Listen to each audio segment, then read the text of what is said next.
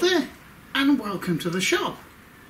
And it's a very happy shop today because I've been waiting five weeks for this controller to come. This is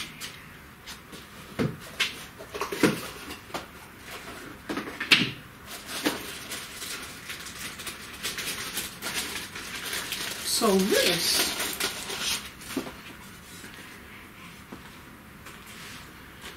is a Mark III control board, which is going into that router.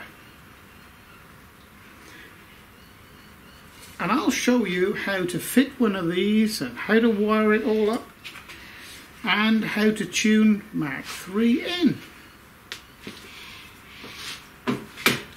So the first job is to remove this. So I'm going to use my very favourite tool in the whole workshop. This.